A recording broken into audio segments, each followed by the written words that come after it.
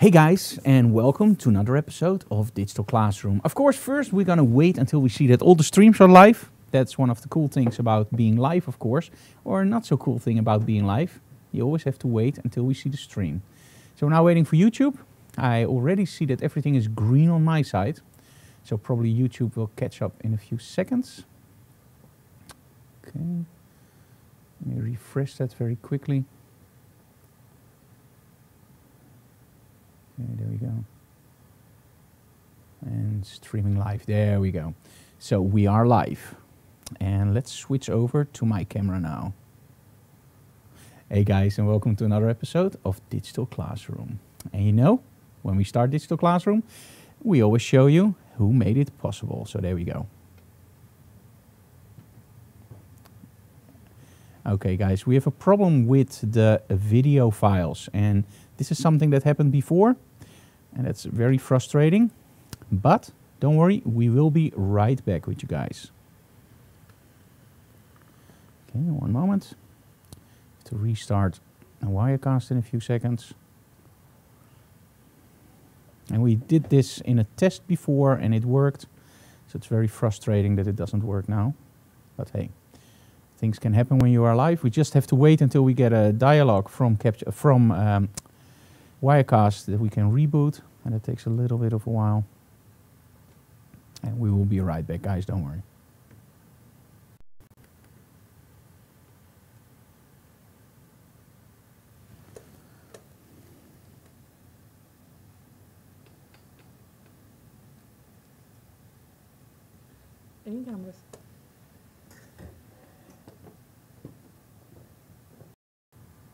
Okay, guys, we started the stream anew, and let's see what's going on. Uh, now, the thing is, and this is something I have to explain, and we're gonna actually we're gonna report this to Wirecast because I thought I solved this. As soon as I start a video file, and let's see if it works now, we actually get kicked out of Wirecast, and that's weird.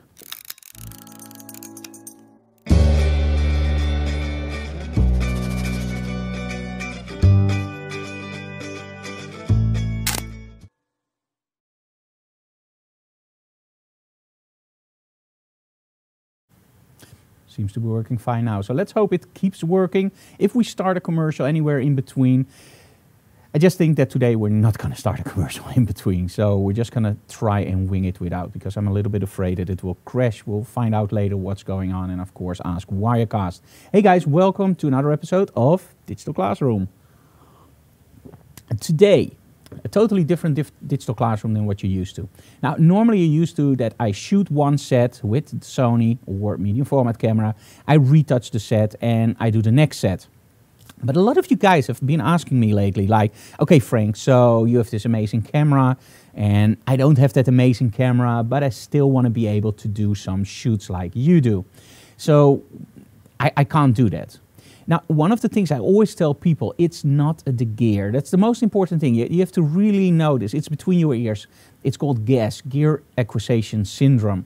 Don't buy the latest gear. Of course, you can buy the latest gear, but you don't need it.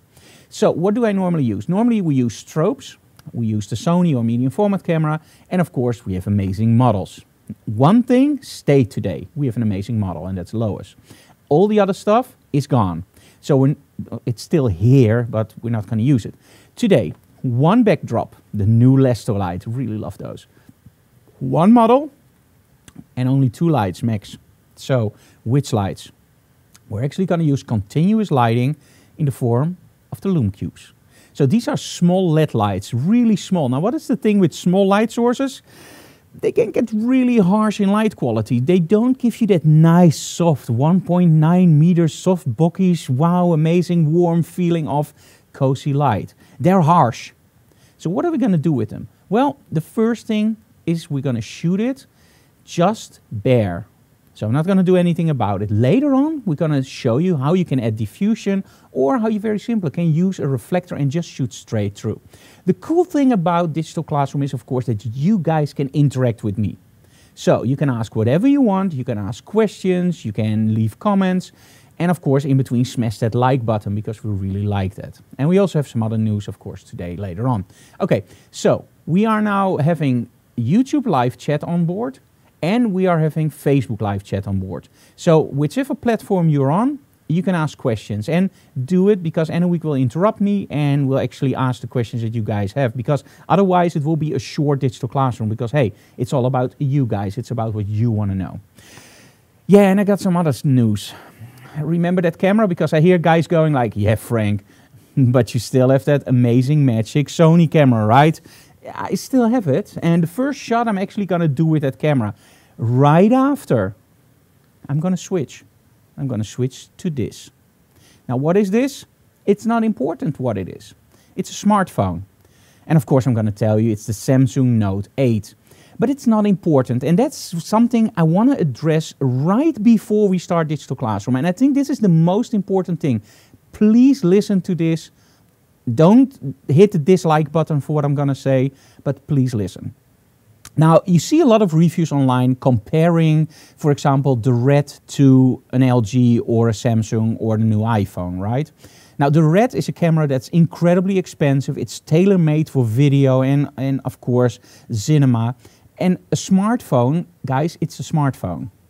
If you really think that a smartphone is as good as a Red, watch the videos. They're actually mounting a smartphone on big Steadicam rigs, on big drones, on stabilized setups. They're doing a boatload of corrections later on in video editing and in video post. And then it looks okay on YouTube. Trust me, when you zoom in and when you really start pushing those pixels, a smartphone is a smartphone. So I'm not going to show you today how incredible the Note 8 camera is. The only reason I'm doing this is to show you guys that if you strip somebody totally bare of equipment. So no camera or no fancy camera, no lighting. Can you still make a great shot? And well, we're going to try. And with Lois, yeah, you can't take a bad shot. Now, the first thing I have to say, normally you're used to a certain quality of lighting during digital classroom. Today, it's going to be crap. So I'm just going to say it straight on it's going to be bad. For the very simple reason we're using Lume Cubes, and although they're really powerful, they can't compete with the LED lighting we use from LEDGO. So we're actually going to try to do it with the LED lighting on, but I think very soon we're going to find out if we have to turn those off. But just bear with me. Okay, some technical stuff. So I'm shooting with the Note 8, and this goes for also the iPhone or any other smartphone you use. The technical stuff. How do I get the images on the screen? Because you guys want to know what I see, right? Well, we're using a Chromecast Ultra connected to one of the screens in our studio and we have a camera set up on that screen so you can actually see what I'm doing. The images come in via, uh, uh, via the air. So how did I do that? Very simple. Uh, we use Synology NASs in our studio, really love Synology. And what we have set up on the Synology is actually called PhotoStation.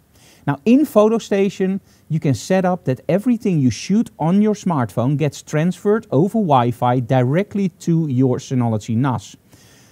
That's what I'm actually doing. I'm using a hot folder on the Synology NAS. So as soon as I'm done with the photo shoot, I don't have to empty my camera. I can just go to Capture One and go to those files. Hey guys, are you ready? I am.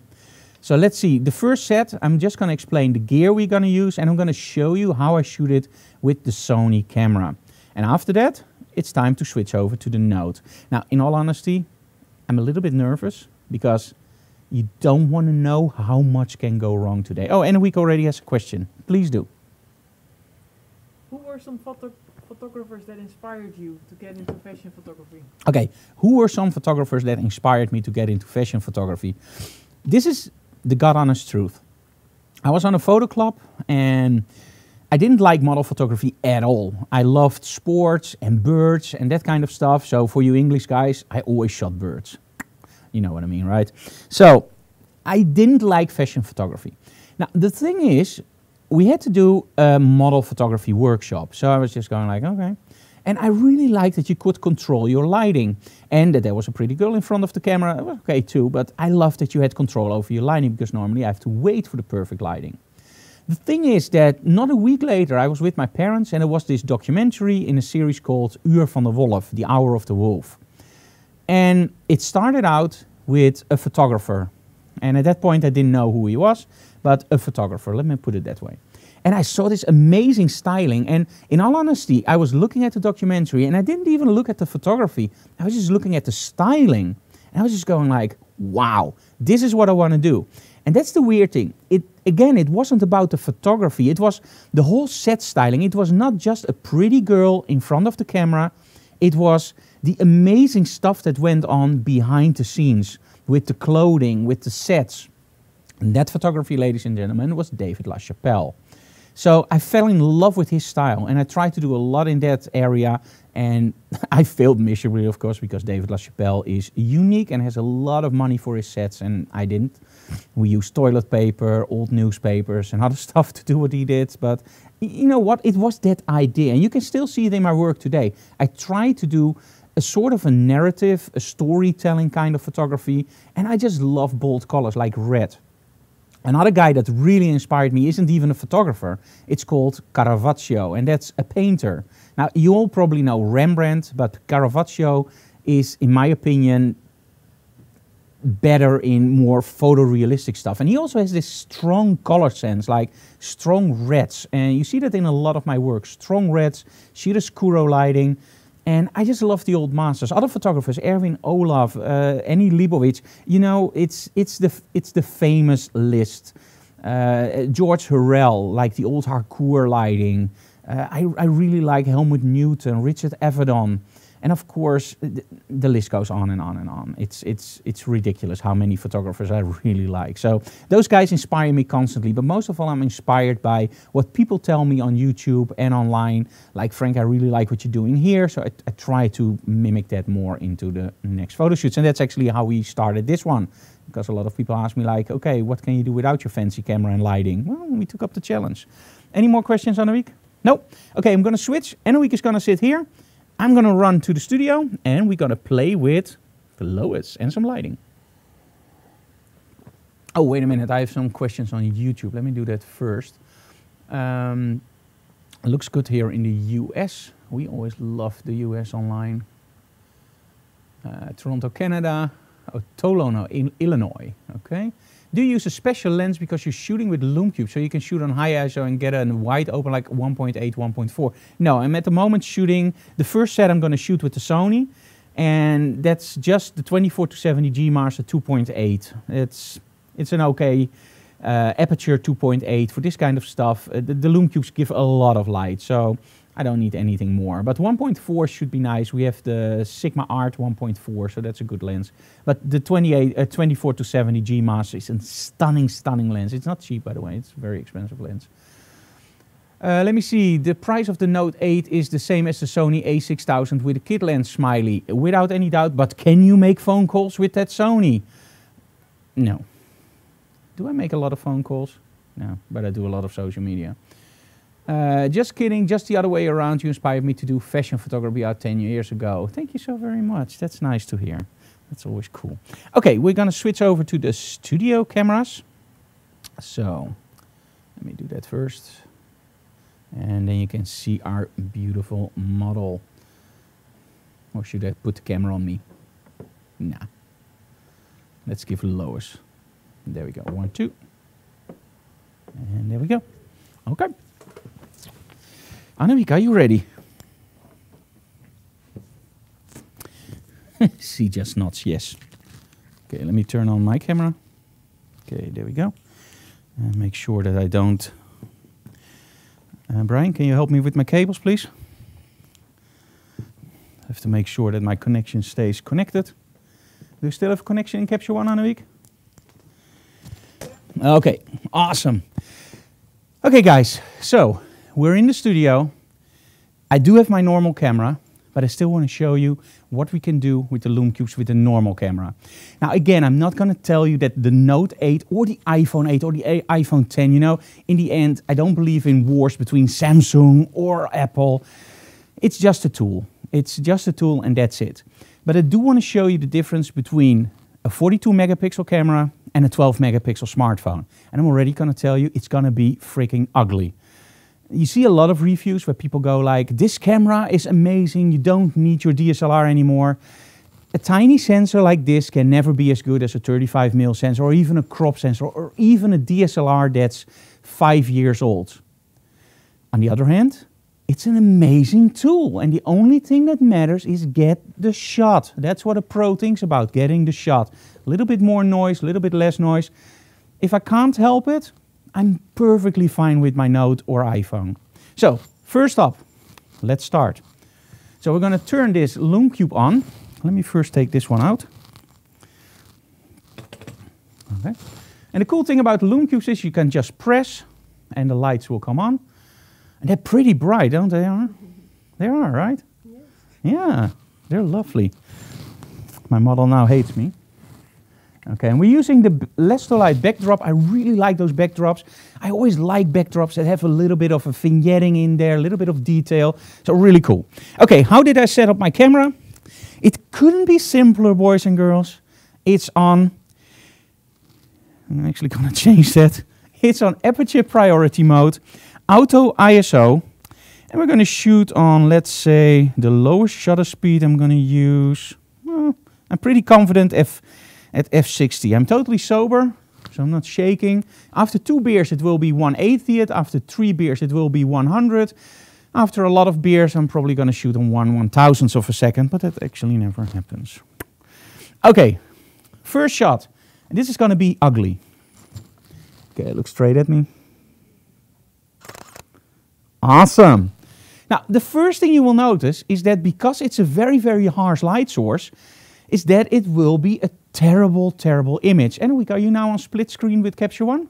Yes, but the white thing is in the. Oh, the white thing is in the way. So. Okay, Yeah, let me switch that back. Okay, so you can see now in Capture One, you can see the image, and you can see that she has a really nasty nose shadow. You can literally see everything. It's terrible. Your nose isn't terrible, my dear, but the image is. Yes.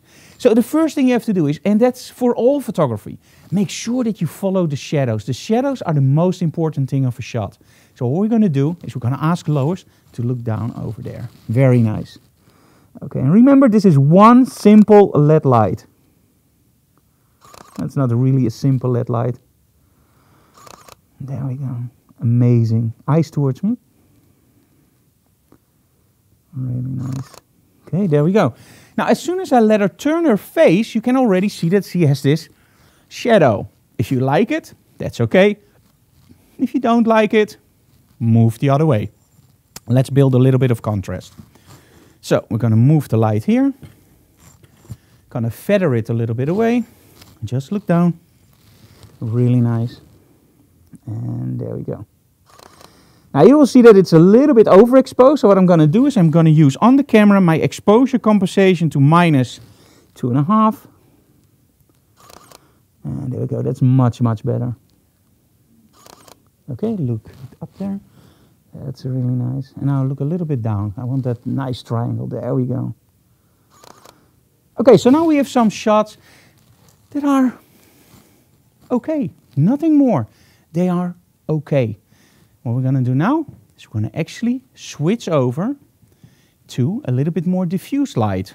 So how do you get it a little bit more diffused? Actually with this. So we're going to place this here. And this is just a normal white piece of whatever. Doesn't really matter what, as long as it's white and you can shoot through it.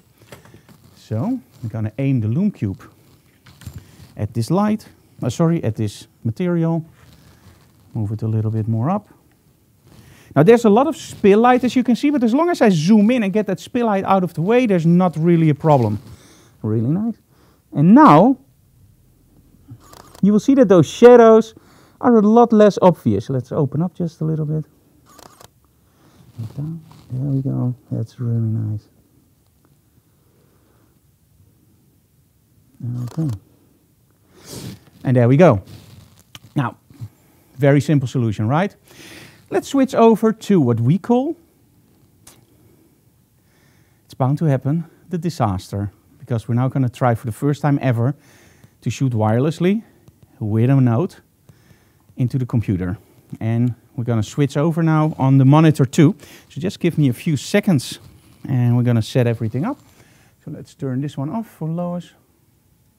Okay, I have to switch over one cable and then I'm ready.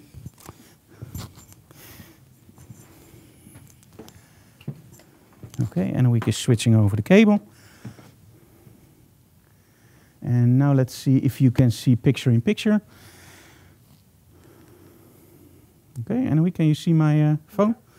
Okay, I'm gonna hold this like here for a second. Okay, so this is the Note 8. Okay, now first things first, how to set up a smartphone. Well, that's gonna be a really short one.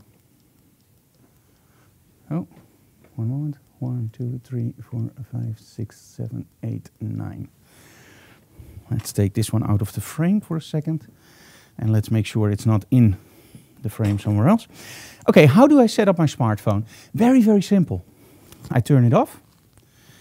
And now it's off. And as you can see, there's an, oh, sorry, turn it off. There we go. So we now have the always on display. So you can see my time and you can see my phone number, which is uh, not really nice. Double click on the power button and I'm in the camera. Now, how do I set it up? You can leave it on auto. The thing is, if you leave it on auto, that's a problem because then you will only shoot JPEGs. You can also slide and you can create all kinds of looks like deep or forest or classic. That's okay. You can actually slide the other way and that's where it gets interesting. Now we have the Pro mode. And in the Pro mode, you already see the focus tracking, even on my hand. You can now shoot RAWs and JPEG. So when I take a picture, it will be RAW and it will be JPEG. There's one thing, and if Samsung is listening, Samsung, fix this. I bought a phone for the very simple reason I want two lenses. So I want the wide angle lens and I want the tele lens. So I want the long lens. And I use the long lens a lot. In this phone, it's not possible to shoot RAWs on the long lens. What? That's ridiculous. So when I shoot on the normal mode, let's start with auto mode. Now I can actually press the 2 and I have my tele lens. When I press the 1, I have the normal lens. Let's see how that looks. Okay, Lois, can you look a little bit down? Okay, let's focus on her face. There we go. Awesome, that's 1. Let's press the 2. So now we have a close-up. Oh, really like this. Really nice. Okay. And as you can see, I'm always shooting landscape somehow. Can you look that way a little bit? And can you remove the hair from your face? Don't cut it off, but just move it. Yes. There we go. That's really nice. Okay, I can always change the output, like higher or lower. And when I press on the background, it focuses on the background, and on the foreground, it focuses on the foreground. The thing is, you also see that my color temperature switches Eh, that's something I don't like. I don't like the color temperature to switch for the very simple reason I want to determine if the color is different. So let's go to the Pro mode. Okay. Okay. Pro. And now I can actually shoot on full manual mode. And now it gets more interesting because now I can actually set up my white balance in kelvins or lighting, fluorescent, or this, or cloudy, or just in Kelvin, or auto. I can do autofocus. Oh, no selfies, Frank. I can do autofocus or manual focus.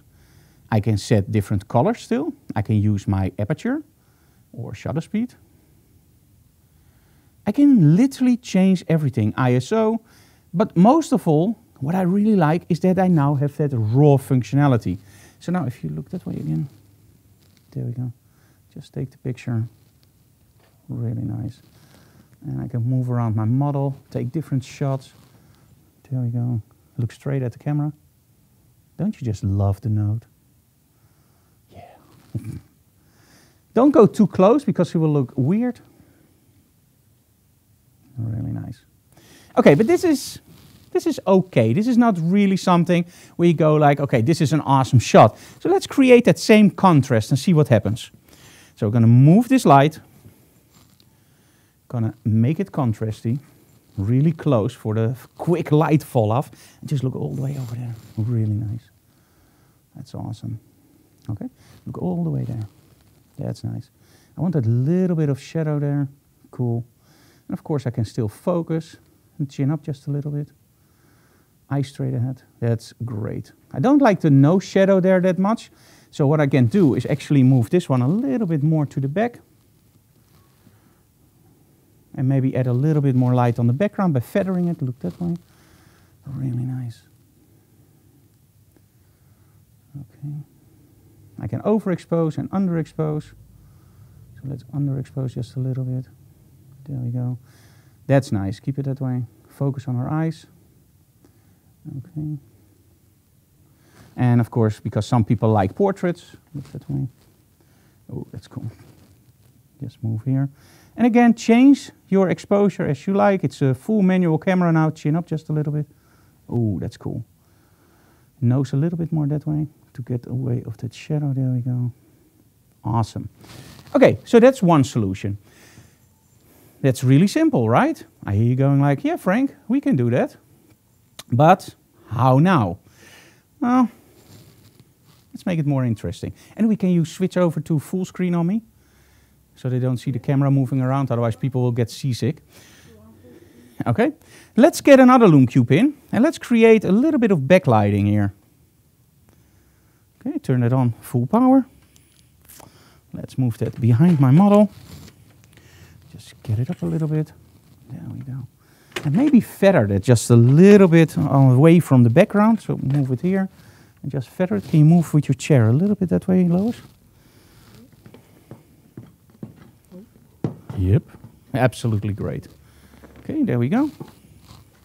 And let's take this one and aim it a little bit more at my model. There we go. I like the light in the back. That will give me a little bit of lens flare to give it a little bit more. Uh, just gonna, gonna look cool. Okay, there we go. Oh, that's nice. Look straight at me. Chin up. Oh, that's cool. Oh, lens flare isn't that bad actually. A little bit that way. Oh, that's nice. Perfect. Chin up just a little bit. And you she's following my hand. Really like this. Okay. So we got those images in. Now what I want to do is I want to really pinpoint my light to my model. Now with normal strobes, you can actually use something called grids. And that's the cool thing about the new Lume Cubes. They have this metal housing and we can actually now use grids. So Brian, can you please bring me the grids? So what I want to do now is I really want to steer that light towards my model. I want to make it more directional. And what a grid does is actually that. So now I have a little bit of spread under her chest, even on her hands. And here we have magnetic, I love it, magnetic grids. So we have these, and they all fit together. And we have the more broad ones. Well, broad ones, yeah, who needs them? Let's go for the most aggressive ones. Oops. And we have another one, because I have to make sure, there we go. Of course, you have to make sure that you use the magnetic pieces the right way, otherwise they are falling down, of course, because they actually are pushed away. So now we have the grid on, a little bit better. Let's see if we can add another one. And again, that's the cool thing about magnetic stuff. You can just add a few together. And there we go. That's even better. Really like this. Want it even more? No problem. Use it the right way. Oops. I'm throwing them all around, guys. Maybe they should label them and which side is the magnetic side. There we go. Really love this. Make one side red, that's the magnetic side. Hey Frank, you really see the difference uh, when you're putting on the Yeah. magnetic stuff. Yeah, the grids. Okay. Watch the lens flare now, guys. Look that way. Now we're getting the kind of shots that I really love. Okay, that's cool. Let's go into. Nah, I'm not gonna do anything like that. Let's go back into the pro mode. Okay, let's go down. Oh, really love this. Let's get a little bit of that lens flare in from the side. There we go, really like this. Let's overexpose slightly. Nice. Let's change the light. There we go. So you can literally steer the light. Now we have that little bit of lens flare from the back. Let's give that a little bit more. So I'm actually going to place it straight on and I'm going to aim it straight at my camera lens. Let me see where it is. There. Move it a little bit here. There we go. And as soon as you have it straight on, as you can see here, now you can literally see that lighting effect. So what I do is I have to tilt it towards my lens. That's how lens flare works. You have to find it, and as soon as you have it, there we go, don't move. you destroyed my lens flare, girl. I was so happy I got it. Okay, there we go. Nice. Look straight into the grids. Into the grid there. Oh, that's cool. Lois. Love it. Okay, let's overexpose. And as you can see, I can just change the exposure as we go. It's a little bit off center, so let's change that. Ooh. Let's try this. So now actually moving around and just looking what I like. Can you tilt your head a little bit like this? Ooh, that's nice. Okay. Maybe from this side. There we go. I love that the lens flare is now actually on the bottom part. It's a little bit on the hot side. Let's underexpose. She really hates me now. There we go. Okay, so that's one part, what you can do. Let's try something else. We also, of course, have color gels. So Brian, can you get me the red, uh, no, do the blue gel. I'm gonna actually underexpose her a lot by turning this one on a lower setting and the back one much, much higher. Let me see how far I can go. One, two, three, four, five, six, seven. One, two, three, four, five, six, seven, eight, nine.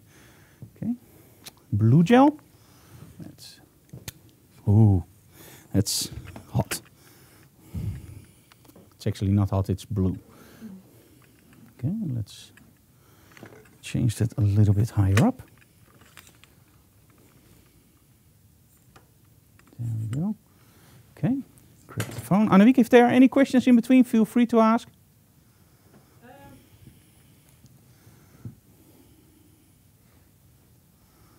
Really nice.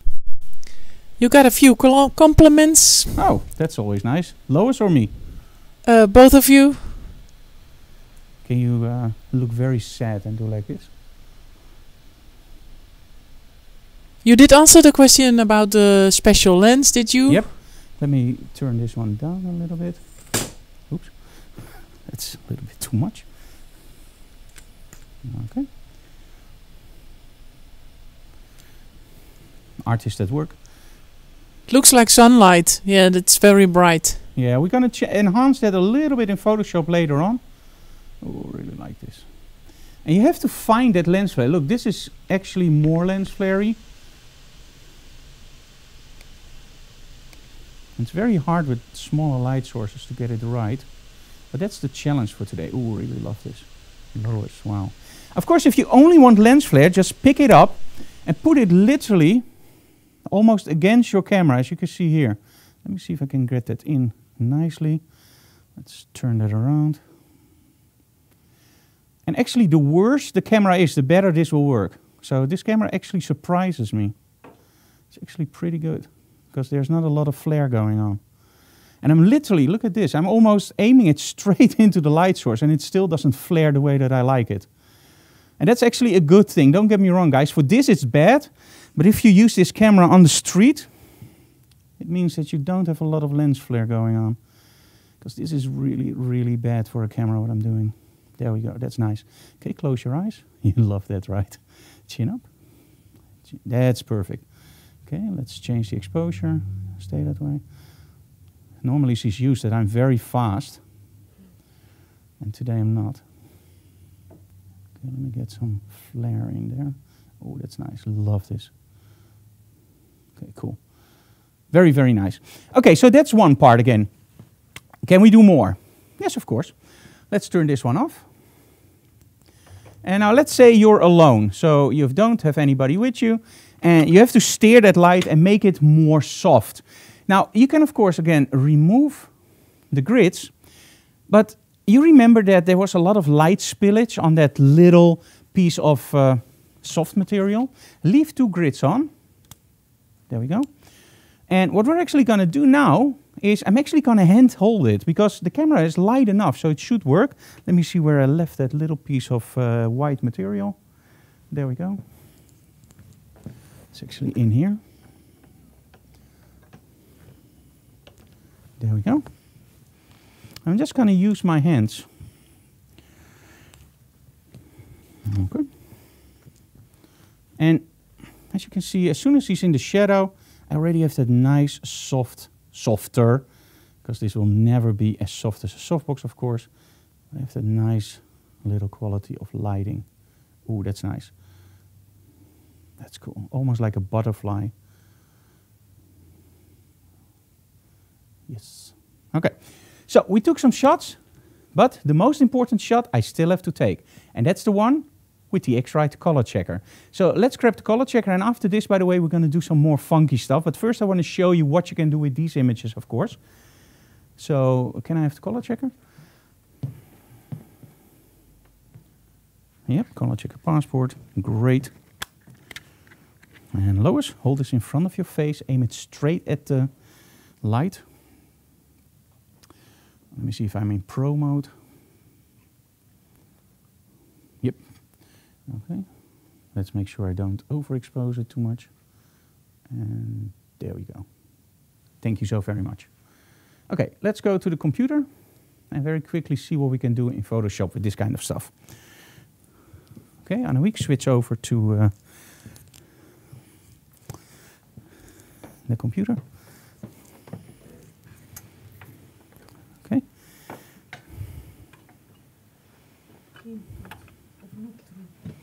Yep. There we go.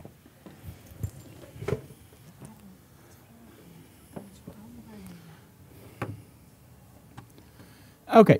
Um, let me switch to my desktop and webcam so you guys can actually see what I'm telling you.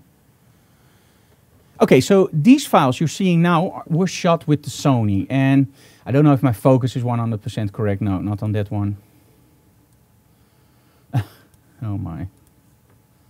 Frank, you did great, but not really. Okay, there we go. I don't know what's going on, but that's the thing. If I do the digital classroom, I try to focus a lot on you guys, and sometimes I'm a little bit less accurate with my focus there. But you can see this is the 42 megapixel files. They're really good, they're really big, and well, the quality is good. Although the focus here is really bad. Sorry for that, guys. Let me find one where you can really see the sharpness. This is all my fault. It's not the fault of the gear. There we go, that's better. Okay, so this is the sharpness of a 42 megapixel camera shot on a 60th of a second 2.8. As you can see, it's, it's again, it's my fault that I missed focus, not the fault of the camera. It looks pretty nice. Okay, let's go to the files from the Note. Okay. They are coming in. And that's the cool thing, it's now on the Synology NAS. And let me go to the last one, the DNG. Now, the only thing I have to do is, of course, do my color balance. So go to the white balance picker, set it here, select all, and adjustments, copy and apply. There we go. Now, ignore the JPEGs. We're only going to focus on our DNGs. Sorry. adjustments, copy, select all, apply.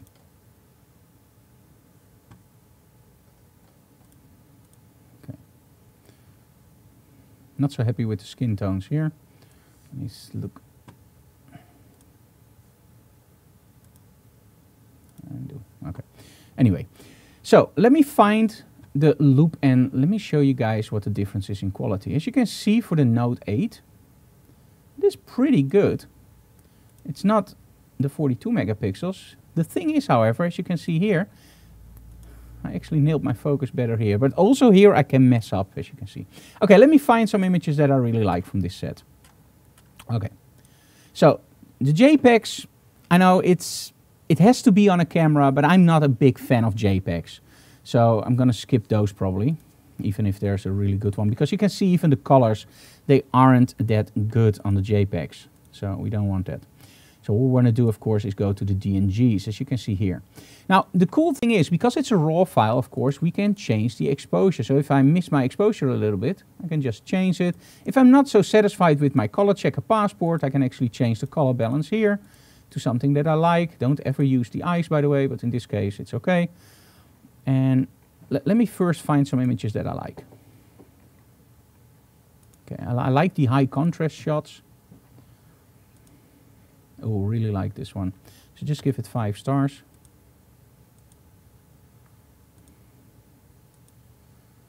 Okay, I really love this one.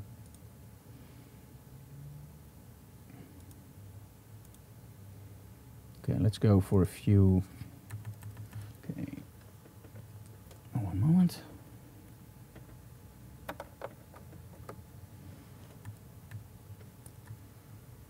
Okay. And I always look at an image that really shouts out at me, like for example this one, but that's the JPEG. Oh, really love this one, also JPEG. This is why with JPEGs, look at this. I blew this out, so I can't correct this. This is why it's so important to have that DNG option on your camera. Now, how often do I shoot models with a, a smartphone? Never. Only for this. Okay. I really love this one. That's nice. Okay, I'm just going to select one or two, don't worry. I really love this one. And that's actually that one. Uh, let's see some of the blue images. And I want to show you some tricks that you can do in Photoshop with these images to really spice them up. I really like this one. Oh, this one is cool. Love this one. This is the one we're going to retouch. Let me check if the focus is okay on this one. Yep, it's spot on. You see, I can focus. As you can see, the color temperature does fluctuate a little bit. Got me a little bit off guard because normally the color checker works fine. But I think the smartphone itself also well, maybe responds differently to different color temperatures. I don't know what's going on, but normally it should work just fine. There we go.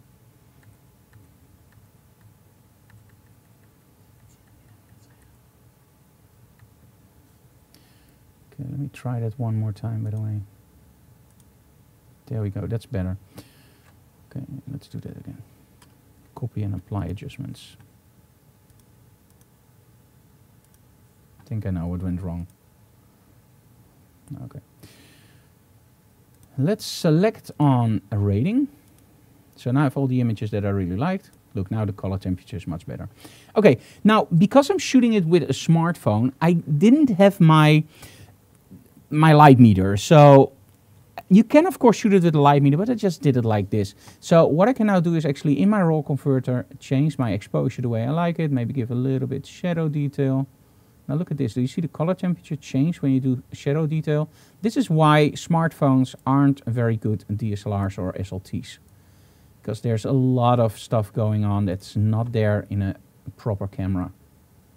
Not that it's not a proper camera, but you know what I mean. Okay, really like this one. So first, for all the images, I'm going to set the exposure correct. And this is the one we're going to retouch. I'm going to give a little bit more attention to that one. And finally, this one, also cool. Okay, now why do I show you all the images when I just told you I'm only going to retouch one or two? Very simple. Now it's the part of elimination. I've got a lot of shots with the same lighting setup, with the same styling. And like this one, take it out. This one, take it out. This one, take it out. Because the other ones are way stronger. Like if I look at this one or this one, I don't like that one. If I look at this one, I absolutely love that portrait. And I really like this one. This would be an awesome black and white one. So let's retouch three, okay? First, we're going to do it really fast. So we're going to do this one. And now in Capture One, in Lightroom, you go just into Photoshop with your shortcut. In Lightroom, you have to, oh, sorry, in Capture One, you have to set up a recipe. In my case, Frank to Photoshop. It's a TIFF uncompressed Adobe RGB and open up Photoshop. So let's press process and in between, let's see if there are any questions. And Lois, you can prepare for the next set if you want with the mask. Oh, I already gave it away. Uh, one Uh, one question is from Andries. Could it be your white balance isn't applied because you had both the JPEG and the DNG files over there selected? Yep, that was what I did wrong, and that's what I corrected the other time. Thank you, Andries. And the other question is, um, how do you prevent the model from crying with all those lights in her eyes? If they cry, I kick her. She will start crying even more. No, um, you know, at one point the light is constant, so at one point she gets used to it. But I always let her look away, or if it's really bad, if a model really can't take it, let, let her wear shades or sunglasses. Okay, I have some questions here. This better be good, Frank. I had to rush mowing the lawn for this. Really? You know what I had to leave for this? You don't want to know. Okay. Uh, with the Canon 5D Mark, I don't know where that question comes from. This looks like sunlight, yes. Put the light on top, it will be midday sunlight indeed. In today's episode, how to make the best selfie? Nah. Light is everything, not the camera, not the background makes the picture, that's it. The last life gave harsh shadows. Could a reflector, yes, I knew you hardly use them, help in that? Actually, I use reflectors in the new video. Gonna talk about it later. We actually use reflectors for bouncing back light into the model. The, the thing is why I don't use reflectors is because I like that harsh quality. I like the deep shadows. So that's why I hardly use any reflectors. But yes, you can. And you can make it softer also by shooting through the reflector. That's what we're gonna do in a moment. Uh, from looking into the main light, I mean, okay, no problem. Bad focus, Frank, happens to the best of us, amigo. Yeah, I can make excuses for it, but there is hardly any excuse. I just messed up my focus. So it's not a problem with the Sony, by the way. It's all my fault. So don't worry about that. Hey, that's the problem with a live broadcast. And let me see. I remember you edit in Pro Photo RGB. Why did you skip to Adobe RGB? That's a very good one, Paul. I skipped to Adobe RGB about six months ago because on the Windows machines, I have some problems with Pro Photo RGB. Now, in all honesty, I don't regret me going from macOS to Windows, not at all. But the color management in Windows sucks compared to, uh, uh, to the Mac. So in Windows, I found it perfectly uh, viable to just work in Adobe RGB and not in ProPhoto RGB. So it's, it's a personal taste, and in the end, they're both really huge color spaces, and Adobe RGB is a little bit smaller than ProPhoto RGB. ProPhoto RGB is a little bit more closer to what the sensor sees, but in the end, you know, Adobe RGB works fine, and on the Windows, I just had a little bit too much trouble with ProPhoto RGB, so yeah, that's why I switched. Okay, let's take my face out of the equation and let's just focus on the desktop because then you guys don't have to look at me. Okay, there we go. Okay, let's start some retouching for this one. And let's just see if we can spice it up a little bit. Now, because I shot it with a mobile phone, I actually am allowed to Instagram the heck out of this shot. Now, what do I mean with Instagram the heck out of this shot? Just make it nice with filters. The first thing I always do is actually do the skin. And also here goes Imagenomic portraiture. Now I have set it up on insane. That means on the most extreme setting. And I'm going to explain to you in a second why I do this. And it's it's very counterproductive to what I normally almost preach to you guys. Don't overdo it.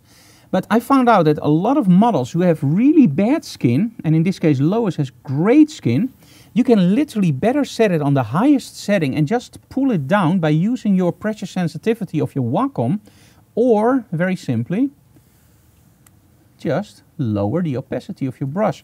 The cool thing about setting it all the way up is it evens out the skin tones a little bit better. So normally I would set it on the lowest possible setting to make it interesting. Now I will just literally make the skin almost go nuclear. And that way I can later always return to back. And as you can see here, the, the effect is still pretty subtle. Oh, not really subtle, of course, but you can get a really cool skin. Okay, let's tone it down a little bit. There we go. I always like uh, my skin work to have a little bit of a glow. It's not necessarily taking out uh, all the small uh, uh, pores. I just wanted to have it a little bit of a glow. Okay, healing brush for some final retouching work. Now I always use a healing brush that's an oval, as you can see here. You can literally change that size. I just find the oval a little bit less uh, obvious that you retouch your images. Now this is a part I do a lot via Digital Classroom, so I'm not going to do a lot with this today. Just watch back the other older episodes and you can see all the stuff that I tell you about retouching. But I do want to give you a finished result. Okay, there we go. Now the thing is, I want to have my image tinted. So I'm going to use my favorite plugin for that. And there are actually two, DxO Film Pack and Alien Skin. And at the moment I'm leaning a little bit more towards Alien Skin. But every single update that can literally change because DxO Film Pack is absolutely stunning. Okay, let me see which I like. I like the effect in this that I can actually select one that I like. Let's say I like the black and white. Oh, I really like that by the way. And now I can literally just hover over the other ones and see which one I like more. And as soon as I take my brush out, as you can see here, it defaults back to the original setting that I liked. So if I find one that's better, let's for example say this, and now I move my pen, I will literally see that one, or maybe this one. Well, I, I like actually the one that I have now. So let me see a before and after. I like that little bit of hinge of contrast. There we go. And there we go. Layer, flatten image, file, close. That's all, boys and girls. Let's go back to Capture One very quickly and I'll show you the one where we're going to Instagram the heck out of it. That's this one. Okay, let's go into Photoshop. That's the nice thing about 12 megapixel files. They really open fast. Okay, let's go into Portraiture. Let's see if we have any questions in between. Why not a camera app for Android? Uh, I use the camera app for Android, uh, Arco. It's the original camera app that's on. If you mean something else, just let me know. Okay, Wiek, any questions on Facebook? No. Oh, no questions. Ooh, that's a bad thing or a good thing? Okay, do a layer, a layer mask, hide all. This is a little bit repetitive, sorry for that guys, but we still have to do it. Well, there is a problem on Facebook. It Okay. says we only got one viewer, but I guess it's much more. Oh yeah, Facebook always says you have one viewer. Well, there are a lot more. Okay, now you can actually see where this camera falls down and falls down flat on his face a lot. Look at this. Go to 100%. See the noise? Is that a bad thing? No, of course not. It's noise. As soon as I print it, you won't see any noise. But it's where the DSLR does a lot better. So all those people that tell you, oh, the DSLR is just as good as the smartphone or the other way around, no way. Is the smartphone great? Yeah, as you can see here, it's awesome. Okay, so let's make this one a little bit bigger. Now make a new layer. Uh, sorry, new layer. Uh, let me do one thing first, sorry, and we'll explain later in a moment why I do this. Okay, let's first tint the image. Filter, alien skin. And for the final one, I will do actually DxO Film Pack to show you guys. Okay, let me go. Should we do it really extreme? Yes, I think so. Okay, I love this look. See, makes it a little bit more uh, porcelain look. Okay. Yeah, I really like that. Layer, flatten image. Okay, why do I always do a flatten image? As soon as I know I'm done with something, I just flatten my image because I know I'm done with it. This one actually added a little bit more grain and that makes the noise of the camera a little bit less obvious. So layer, new layer.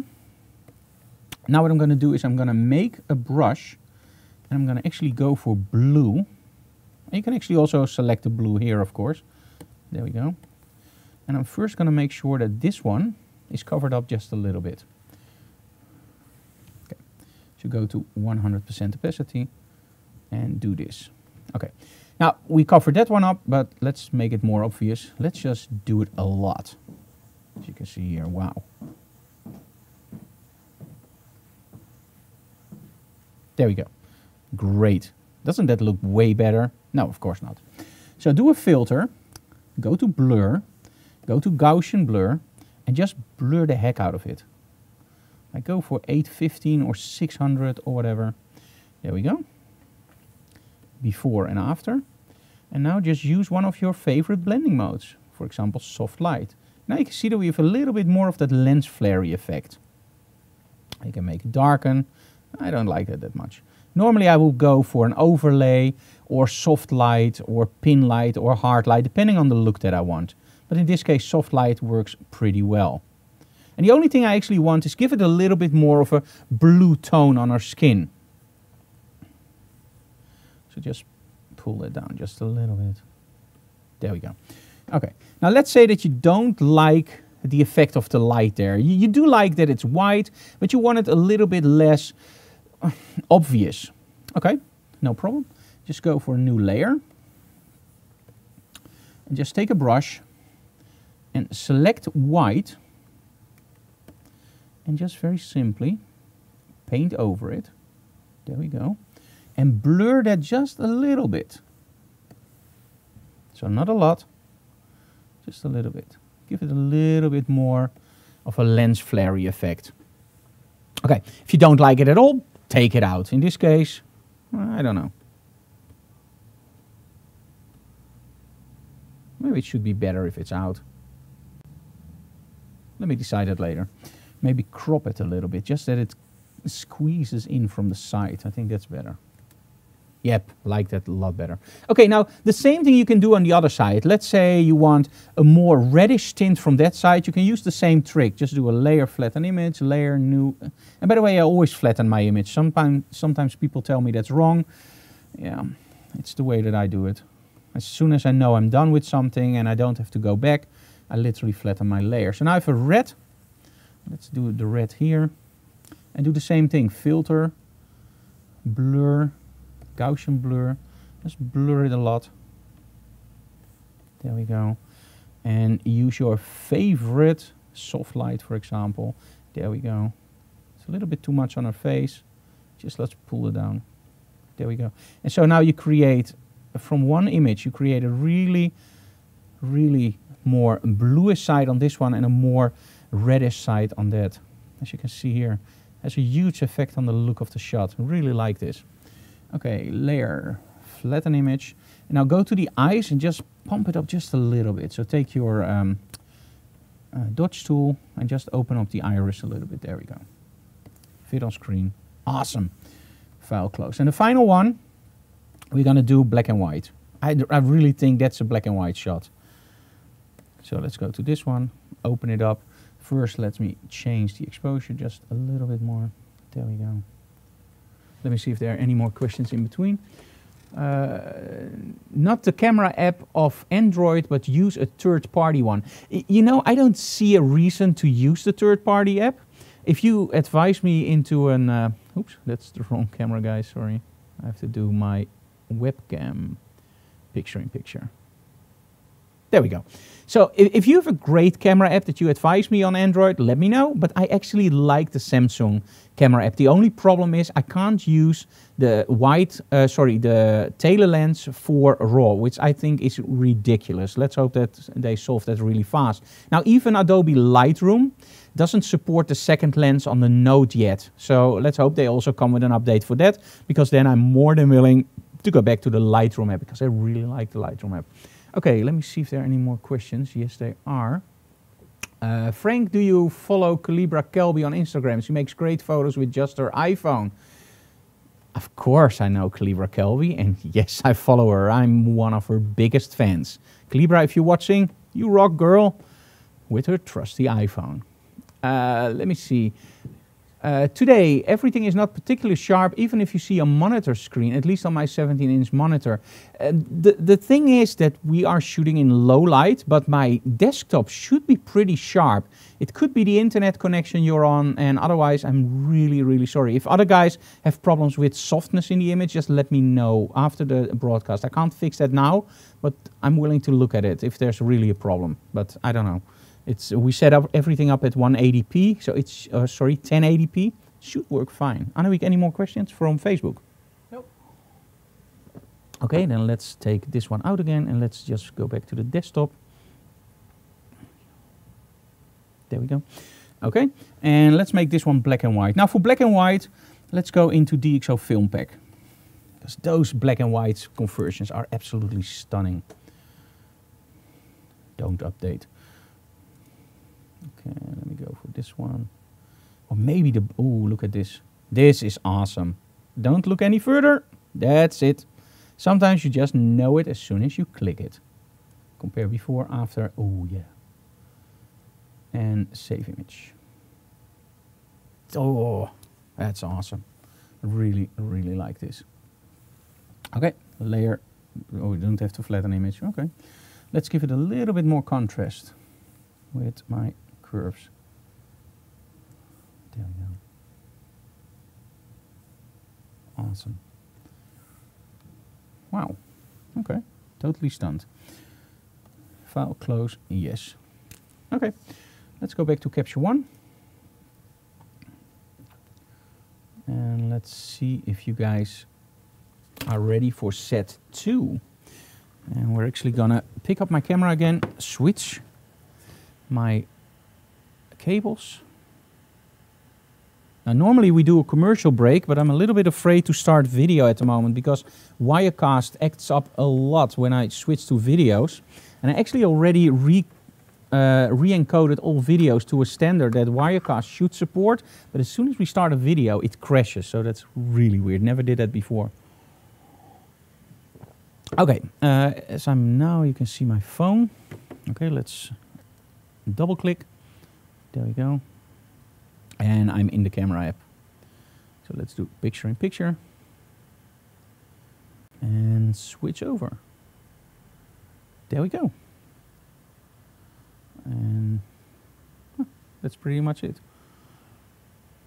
Okay, Anouk, are you ready to take over again? Yes. She's very, very ready. Okay. Ah, Loïs, how are you? Are you sure you're good? Yeah. You good to go? Not yet, because we're not done yet. okay, let's um, do something a little bit more softer. And this is actually where Brian comes in. Brian, do you have the big reflector for me? You do need a Brian for this. They're not really for sale. You have to make one yourself. They're called a sun. Okay, Brian, can you hold the reflector somewhere here? So we're going to really soften up that light. Don't hurt my model, because otherwise you never come back. Okay, remove the uh, grids. There we go. Oh, that's a really nice. Beautiful, beautiful soft lighting like this. Okay, let's go to the Pro mode. That's cool. Nice. Ah, if you can do it with one hand. Cool. That's stunning. Amazing. Wow. Miracle. It's like the keynote from Apple. Magical, stunning, amazing. It's great. Sorry guys, don't hit that dislike button because I'm saying something bad about Apple. It's just making a joke. I love Apple. Okay, remove it. And let's see the difference. Just take it out. As you can see here, this is way harsher in light quality. You see that? Something that I really don't like that much. Okay, so we've done this. Let's put those grids back on. And let's create something a little bit more harsh. Okay. Let's put it on that way. I think that sticks better. Yep. Okay. Very nice. Oh, love this. Chin up just a little bit. Ooh, cool. Lower angle gives it a little bit more stance. Higher angle. Nice. And of course I can move back. I can move in. Or I can move really close. And now you see only the shadow of my phone. That's bad. Okay, really nice. That's cool. Okay, let's do something else. We already have that uh, set up with the blue gel. So let's just take that blue gel here, move it in, turn it on, and just add a little bit of blueness in the shot. There we go. Let's do that from the side. Let's give her a little bit of a kicker with blue. There we go. And move this one really close. Oops for the grids. There we go.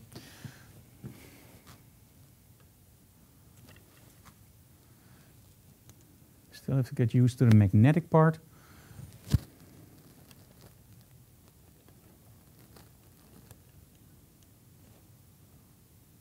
Okay, it doesn't do what I want to do.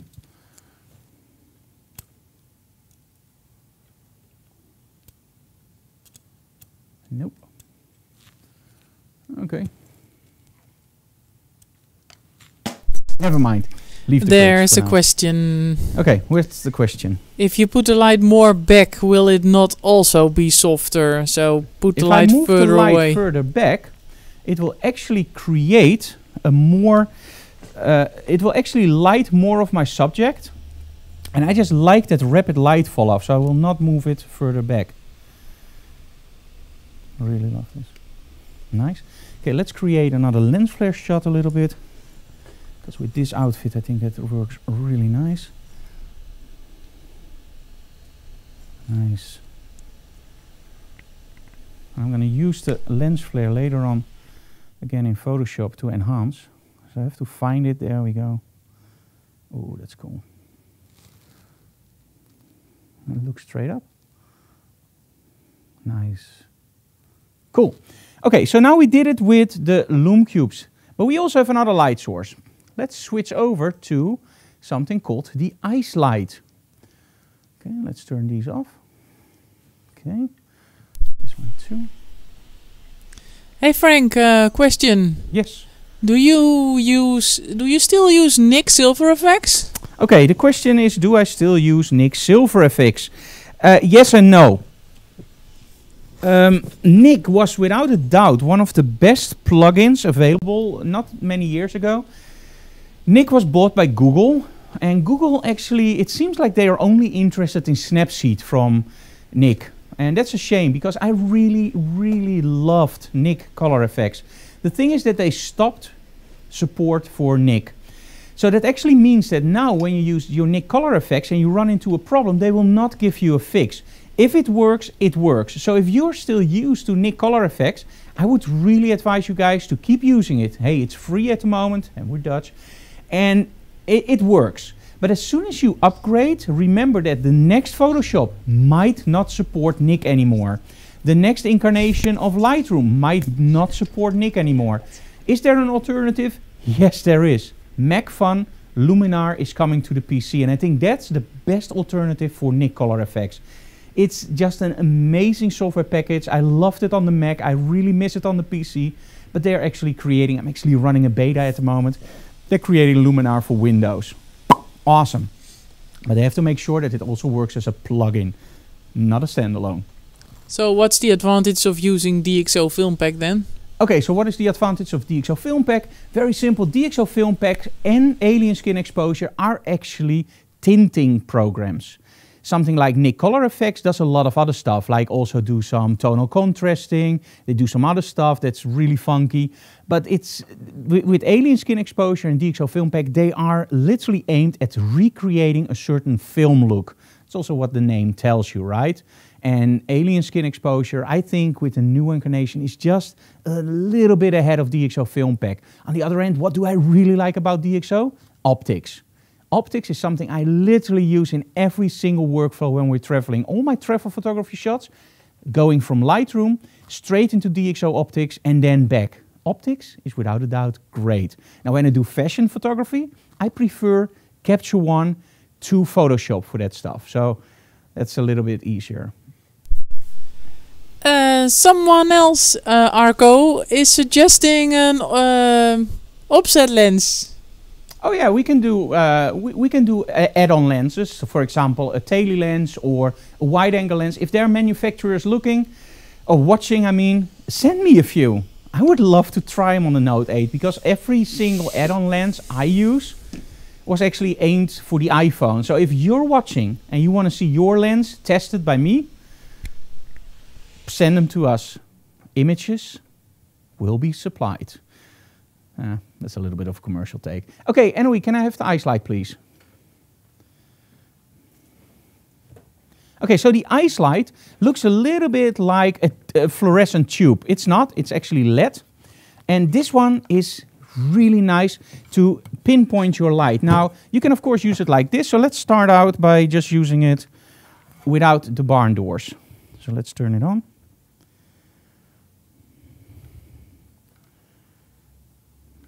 There we go. And let's give it as much light as possible. I feel like on the Enterprise. Give me more warp speed.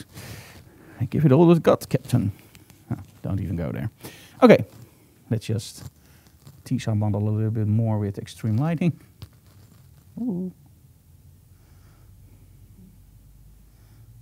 Okay, she really hates me at the moment with all that light straight in her face. Oh, really like that. Nice, awesome. Okay, let me see if we're still in pro mode. No, we're in auto mode, so let's do that again in pro mode. I'm very sorry. That's the thing, if I turn off my phone, it will reboot to auto mode, and I really want to stay in that pro mode. Oh, really nice. Love it. Awesome. Okay, now the thing you can do with this is actually you can steer your light. So you can make a really small area of light available. So now I can literally pinpoint my light towards my model. Okay, I do have to underexpose a lot now. There we go. I love this. Chin up just a little bit. Nice. Lovely. Let's get a little bit more light in her face. And of course I can do it like straight on. Or I can do it from the top down and even diagonal. Just aim your head up just a little bit. Okay, let's underexpose her a little bit more. There we go. That's nice. Wow. I just love being able to just play with that light and just point it exactly where I want it to be. Okay, can you give me the color checker again, Brian? Mm, where did you put it? I don't know. And open it up on the color checker part. Yes. Okay, Loïs, hold it in front of your face, please. And you can close your eyes if you want. There we go. Thank you. Okay, so let's see what we can do with these images. Anyway, can you please turn back to my desktop?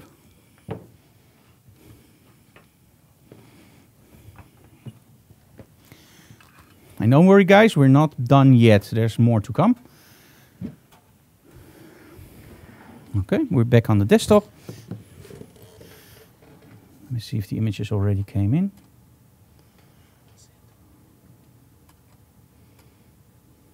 Okay, the DNG here. Let's pick the color.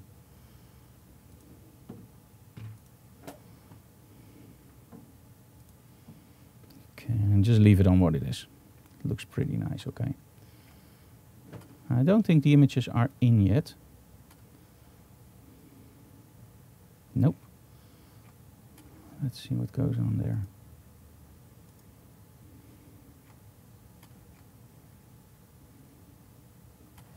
Nope, these are still the old images. So let's see why they are not transmitted.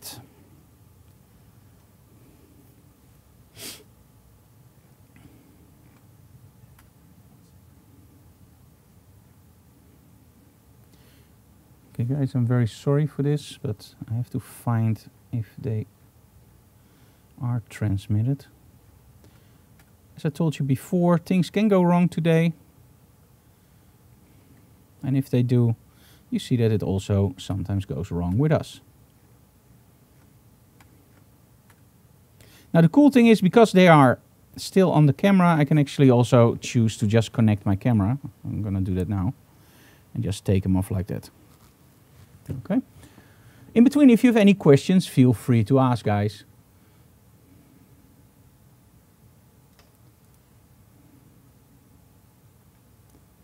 Okay.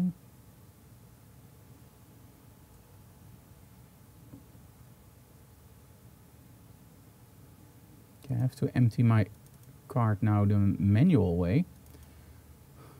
That's new. Okay, go to camera.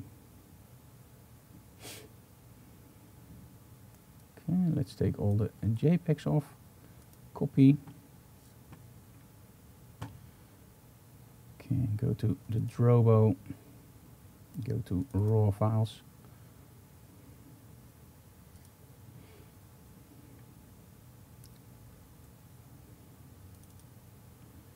Tethered and just copy them in here. Okay, that's part one. Oh, by the way, in between, I am going to tell you about our brand new instructional video while this is still copying. Um, so, you guys have been asking me a lot. Frank, can you do something with standard lighting? So, how to light a white background, how to do a black background, how to create everything with shadows. What does a beauty dish do? So, we decided for you guys to record a brand new instructional video. And it went a little bit overboard because it's almost two and a half hours long. And we just released it today and it's called the Essential Lighting Techniques. Now what I'm going to do is I'm going to try to start a trailer for this. If it goes wrong, don't worry, we will be back online within 10 minutes. But let me first see if we can start it like this. And there we go.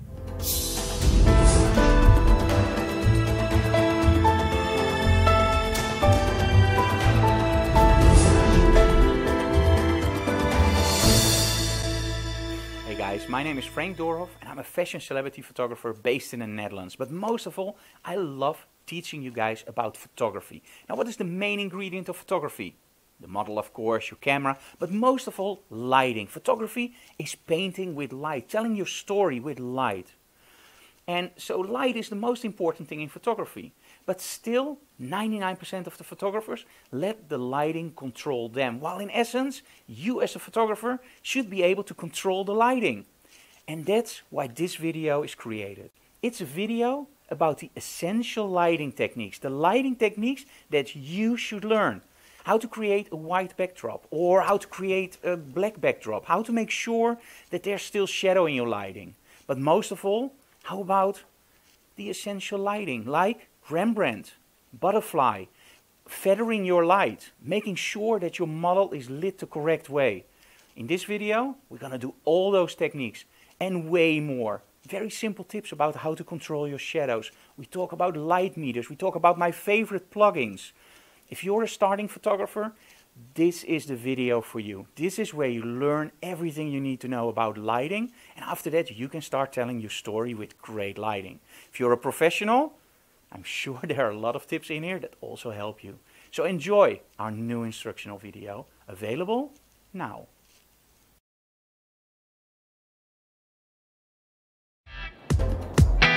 Hey guys, welcome in the Netherlands, Amsterdam. This is my home country and my name is Frank Doorhof.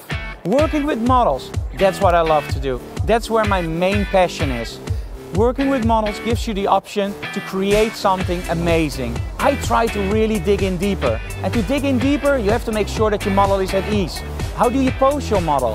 How do you style your model? How do you make sure that your image really tells that story? If you want to know more about working with models, check out my class on coaching and working with models on kelby1.com.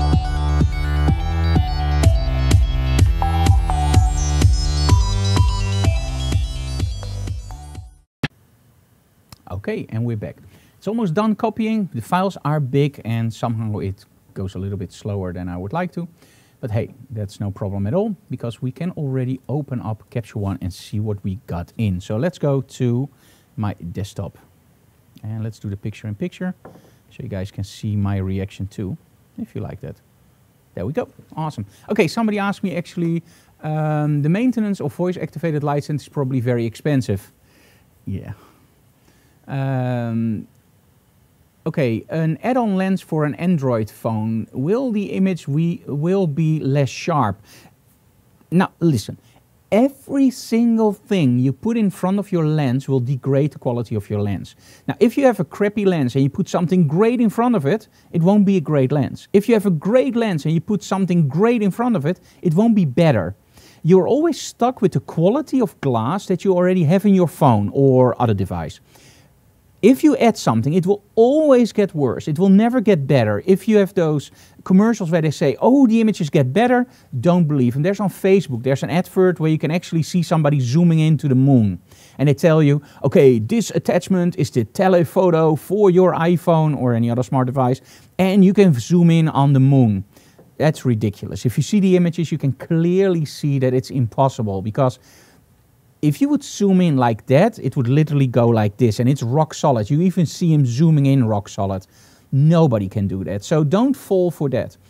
I actually bought on, I believe, Photokina, the most cheapest clip-on lens for wide angle that I could get for my iPhone. I really liked it. It was a little bit softer. Yes, sometimes the corners were a little bit out of focus or chromatic aberrations. But I always tell people that's the way it's intended to be. I like it that way. And well, people buy that. So they they go like, oh yeah, Frank, of course. So okay, let me see. We now have the images in. And those are a lot. Oh my. Okay, let's start here.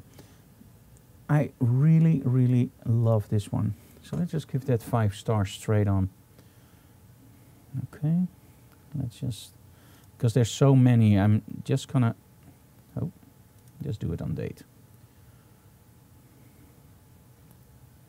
Okay, there we go. And let's turn that around to date. So now I'm back at how it's supposed to be. Yeah, that's the main thing. Somebody said, where's the fast forward button when you need it? That's after the show, because then it will be on YouTube, of course. But during a live show, things can go wrong. Sorry, guys. Okay, I really like that one, but not that much. Let me see if there's a better one. Really love this one. Look at that face. That's amazing. Okay, got that one. Oops. Give it five stars. Okay, let me see if I got some of the ice light in. I really love these. These are a little bit more dramatic. I see that there's a lot of difference in light quality that you can achieve with just simple light modifiers. Now the ice light is not cheap. As you can see here, it gives you a really nice look. I really love this one. Let me go a little bit through the images. Nice. Oh, really love that one. Let's do the DNG for that. And then the ice light ones, they, those are the ones that I probably love the most. Because I love that directional light where you can really do with the light what you want. And that's where that whole video is about, understanding your light and making sure that the light does what you want. You see the difference, by the way, between the same shot with the DNG and the JPEG, that the DNG is also a little bit wider. So that's why I love shooting on DNGs and RAWs. It's actually something that I think every camera should support, even on smartphones. Love this one. Oh, that one is even better. Okay. Now what I'm looking for is expression. I really love this expression better than the other one. Okay, the diagonals. Okay, this one is really cool. So take that one. Six foot six. Okay, I'm gonna use the same settings. Okay, so let's go back. Let's go to rating. And just do it quick because you already saw the retouching, right? So we don't have to go into that in depth. Don't worry, this is 400% focusing. Okay, so let me see. Okay, love that one. If I have to compare this, no, don't like this one anymore because she looks a little bit squeezed. If you, if you know what I mean, it just doesn't appeal to me that much. So we're gonna take that one out. I'm not gonna delete it. I'm just gonna take it out. Love this one. This one is cool. I love the directional lighting here. I really like this one. This one is almost the same. So in all honesty, that one can go out. And this is one of the best tips I can give you guys. Don't don't save too many images. A lot of people will go like, oh, I don't want to destroy that image because it's a great image. Yes, it is. But if it's not that interesting, just take it out because you have a lot of other options. Okay, let's just change the exposure a little bit. And again, this is because we're shooting on without a light meter. And I always advise you guys to use one. Oh, there we go. Really love this. Okay, nice, nice. I think this one is a little bit flat, so just add a little bit of contrast. There we go. And this one is cool. And that one is nice. Okay, let's just only do this one for retouching now, because we want to do another set for you guys. Okay, so let's go into Photoshop. Let me see if there are any questions in between. Great video and doll, I'm too late. No, Nick, you're not too late. This is recording, so later on this will be available on YouTube. And if you are too late, remember to buy my new instructional video. And you really support our work by that, and you can do it on this site. So get it, because it's just brand new. We literally released it this morning. You guys are the first ones uh, in the pre-digital classroom who actually saw the trailer. Okay, so again, um, uh, Imagenomic portraiture on full blast to really, really make that skin really soft. And I don't want that skin to stay soft. I'm just gonna use this as a starting point because it really narrows down those skin tones really nice. Okay, so do a layer mask, hide all, and take your brush and do it on the lowest opacity. For you guys who just tuned in, I'm using Imagenomic portraiture for all my skin work. And recently I started using it on full blast. And normally I always advised against using it on full blast because you destroy all detail. But I did it because somehow when I use the effect on a lesser setting, I find that it smooths out the skin tones just a little bit better. So normally I would fine tune it in Imagenomic portraiture to make it just enough, not too soft, not too sharp. And recently I just switched over to do it on nuclear, just blow out that complete skin. And then later on in Photoshop, you can actually just tone down the effect by using your opacity or your pressure sensitivity on your Wacom. You should use a Wacom, of course. Okay, really nice. Zoom in, and again, this is only a 12 megapixel image, but as you can see here, it looks pretty good. It's actually, it surprises me. I never shot this before with the Note. This is literally the first time I'm using the Note 8 with a model and with serious lighting. Of course, we did some back behind the scenes uh, stuff with it, but man, this looks great. Stunning. Maybe Samsung should pay me for this kind of stuff. Wow. Looks nice. Okay, no more commercial stuff. oh, for the good order, I'm not being paid by Samsung, by the way, yet. Okay, DxO Film Pack. Now, th this is the thing. I know my DxO film pack, I know my alien skin exposure, and I know that certain looks will be in alien skin exposure or certain looks will be in uh, DxO film pack. And in this case, I want to do a little bit of a bright vintage look. This is too much, by the way. This, this is where the image falls down. The Sony could handle this. Oh, look at this. This is amazing. Really, really love this look. So do a compare. Yes. I like that it gives a little bit more on. I, I can really get enthusiastic about this. There we go. Oh yeah, this is cool. Okay, one quick tip, and this is how to get more bite out of your shots. Do a layer new. There we go. Now, we only see red, green, and blue, and that's also how your images work, red, green, and blue. So if you go to your background in channels, you will see red, green, and blue. Now, take the blue channel if you want a little bit more bite and oomph. Get the red channel if you like that more skin tony look. In this case, I like that. Do Control A, select all, Control C from copy. And by the way, I'm using this amazing new keyboard. Let me see if you can see this. It's from Logic Keyboards and it has all the shortcuts on there. So now I can look like a professional because I know all the shortcuts. Yeah, okay. Hey, even I don't know all the shortcuts, trust me. Even he doesn't know all the shortcuts. But my Logic keyboard knows all the shortcuts. so, okay, uh, enough fun. Control, uh, copy from copy go back to your top layer, Control V from paste. And now I have, it seems like I have a black and white version on top of the color version. And that's not true. I have a copy of the red channel on top of the color version. Now, as soon as I change my opacity, or sorry, my blending mode to soft light, you can see what happens. You really get an enhanced look in your image. It compresses it. It gives you that real porcelain look, almost like you used to those fashion magazines. It's a really, really powerful trick, just copying your color channels. I love it. It's, it's one of the best tricks in the book. It's also in the book Mastering the Model Shoot, by the way. Okay, flatten image. I like it. The, the thing that I don't like, I feel that it's a little bit off-centered. So I, I'm trying to correct this a little bit with a crop. Let me see if I like this more. Yep, that's better. Now, I do cut off a little bit of the ears of the what is it, cat. But that doesn't matter. It's all about composition, and your mind will actually draw those lines back. And this is one of the most made mistakes when you do portrait photography. You try to show everything, the full head, a little bit space on top. Don't do that. Everybody knows that there's hair on top of you. There's nobody walking around without uh, the top of their heads. So don't be afraid, just crop it. But don't crop it too much. Like if I would do this, it's still okay, but you don't see it, you, you don't have the suggestion of those ears. So I'm gonna go back, step backward. Now look at this. Now you have the suggestion of that ears and you don't miss it. And that's, I think that's the nice thing about crops. You can really make it more interesting. Okay, file close. I'm not gonna retouch another one for you guys.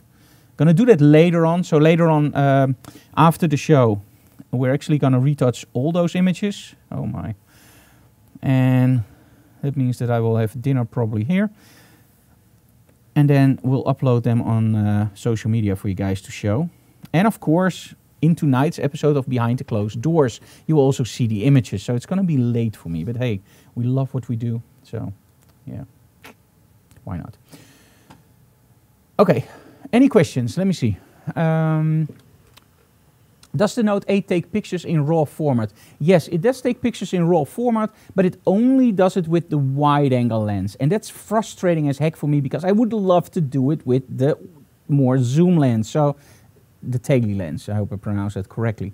And that's one of the things I think Samsung really, really has to fix if they want to be taken seriously by photographers, because that Tele lens is incredibly important. So I really want them to fix that. You can also do RAW files on that one.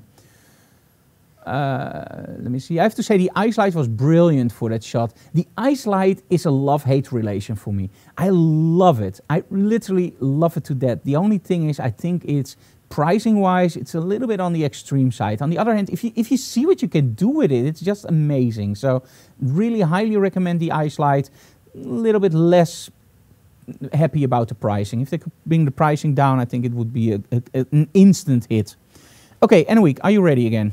Let's switch over to my camera. Don't worry guys, no signal is normal because we're gonna switch over to my camera again. There we go. Great, let me see if I have any questions on uh, the Facebook. Nope. Let me first switch back to the studio because otherwise you guys get seasick. Okay, my model is already there. Hello Loïs.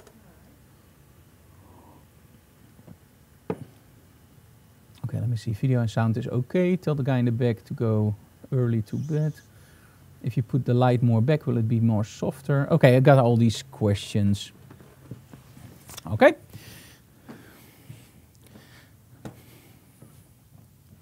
Let's see if I... Oh, and a week. Uh, my um, screen is off, and that's because of my SideSync. One moment. I have to I remove that one. So, there we go. Now I have my image back, I hope. Do you guys see the image again, Annemiek? Of the camera? Yes, right? Yeah. Okay, cool. So let me don't don't put it in the screen yet. No, I'll go back. Okay, cool. Okay, let me see what we can do. Oh, I love the outfit. Can you uh, stand up maybe? Yes. And then remove the chair. Uh, just take the chair out. Out? Yeah, just out. Okay, let me put one light on the back. And Brian, can you give me the red gel? Let's just see how funky we can go. We still have the blue gel on this one. And can you stand here? Okay. Let's turn this one here. Let's turn it wide on. Six, seven, eight, nine. You always have to go up nine clicks.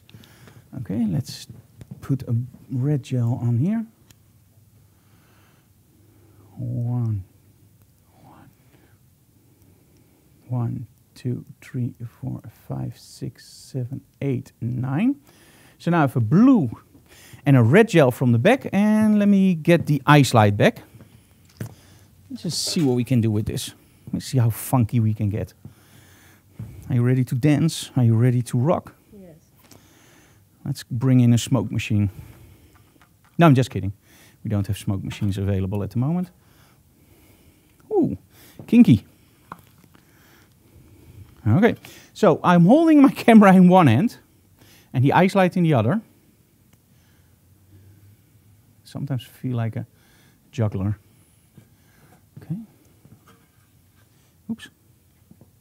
Let's turn this back on. Okay. Nice. Give it some real power, girl. Awesome. That's nice. Okay, let's do it like this. Also focus on her tattoo. Can you hold your hand up? Chin up. And put the glasses on. That will be great. Or not. oh, yeah. It's almost like a rock star. Tilt your head a little bit like this. Awesome. Okay, I'm not to see my blue gel now, so let's move a little bit here.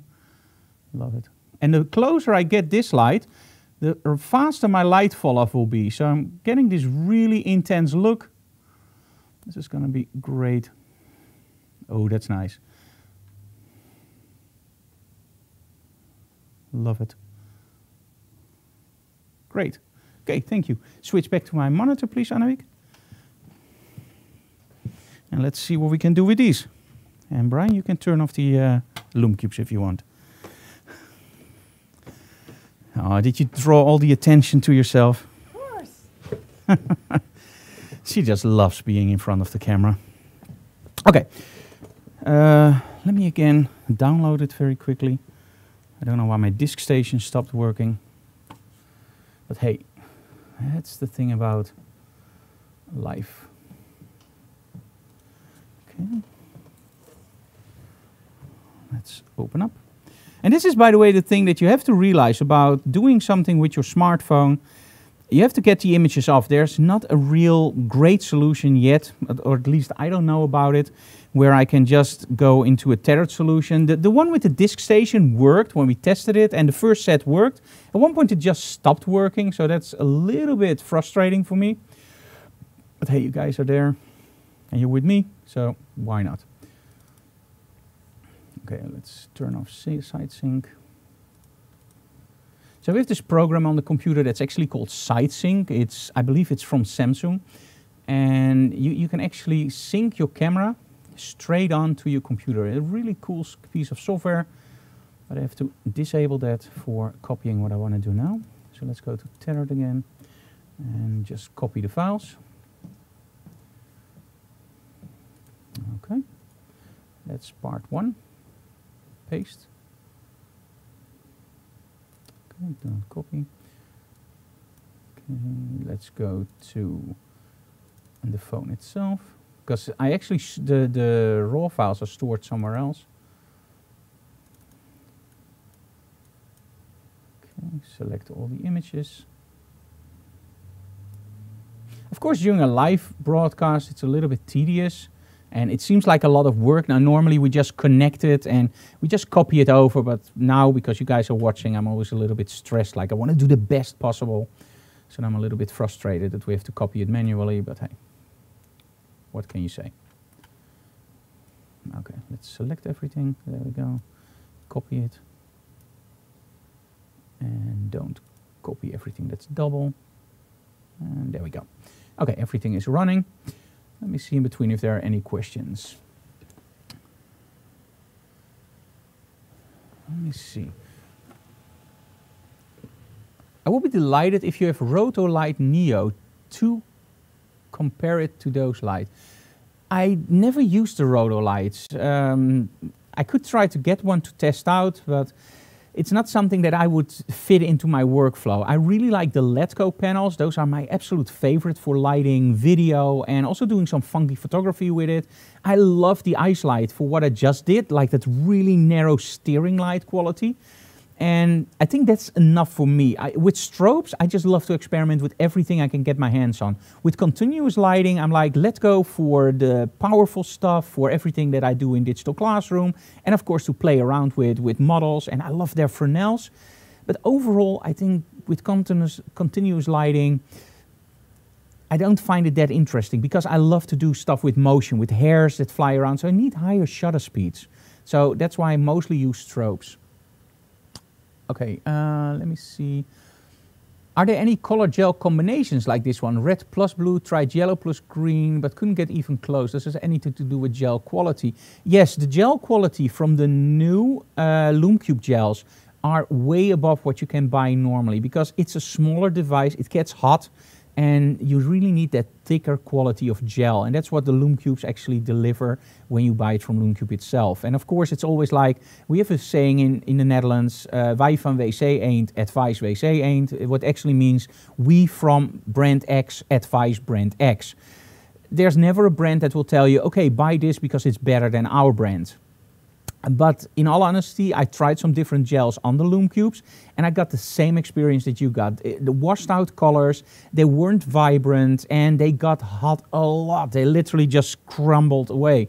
And with these gels, because you put them really close to the light, they do get hot because it's small light source. These gels are awesome and they're magnetic, so you can just put them on and they work. By the way, the thing that I did wrong with the uh, um, with the grids, I connected two on top of each other and I, I messed up. Sorry for that. Uh, let me see if there are any other questions. No. Okay, everything is in now. So let's go into. Uh, let me switch back for you guys again to my uh, desktop. So let's switch cables very quickly. Sorry. That's why I hate doing stuff like this, because it's different from what we normally do. Okay, let's go to desktop picture in picture. And there we are. Awesome. Okay, let's sort on date. Okay. And let's go back. Okay. Ooh, took a lot of shots today. Remember that those are double, so you're shooting DNGs and uh, JPEGs. I would like the option to not shoot JPEGs, but I understand why they do. Okay, so let's go through the images very quickly. No, no, no. I, I like the ones where I use that more concentrated lighting. Look at this. This is amazing. Love this one. Almost like a rock star. I see that the DNG just opens up the shadows way more. If you go to the JPEG, it's a little bit more compressed. This is also why a lot of people online tell you, I don't like the skin tones from Samsung. I like it from the iPhone better. As long as you shoot JPEGs, you are stuck with what your manufacturer gives you. As soon as you start shooting RAWs or DNGs in this case, you can change it later. So you don't have to be stuck with skin tones. Just use the color checker and use it the correct way. Okay, let me see if we have something that's really catching. Oh, love this one. This is awesome. I actually like the JPEG better than the RAW file, but that's always the case. The RAW file is more flat, and if you see them next to each other, of course you go for the JPEG. But watch this. Just give it five stars, and now just go into your uh, develop module. In this case, of course, your uh, just your settings in Lightroom. It's called develop module, and just add a little bit of contrast. And there you go. Got something similar to the JPEG. Let's just keep it open because I like to do that stuff later in Photoshop anyway. So I don't like to do it straight on. Okay, let me switch. Oh, love this one too. I have a problem. It's called keuzestress, or in other words, stress in choice, because there's so many great shots. And Loïs, of course, is a great model. That helps. Okay, love this one too. Oh my. Okay, let's go back into rating. And let's see. Now, one of the best tips I can give you guys is don't put too many images online. Like, for example, this one is great. This one is awesome. But if I have to choose, this one I don't like the hand. So just immediately take it out. You already got a great shot. Look at this one. This is awesome. So just only take those shots where you go like, okay, this is where I can stand behind 100%. And if that means you only have one shot from one set, so be it. Only use that one set from that, or that one shot from that one set. Okay, let me just retouch one for you guys very quickly. Let's take this one. Okay, let's open it up just a little bit more. There we go. And this will be the final retouch. And after that, I will do some questions, of course, for you guys. And we do have any questions on Facebook at the moment? No? No, Oh, you guys are really quiet today. the model stole your color checker. Oh, my model stole my color checker. Oh, that's bad. Go to Image Imagenomic Portraiture. Let's do this one with alien skin exposure and just show you that we can freak out a little bit. Okay, let's do okay.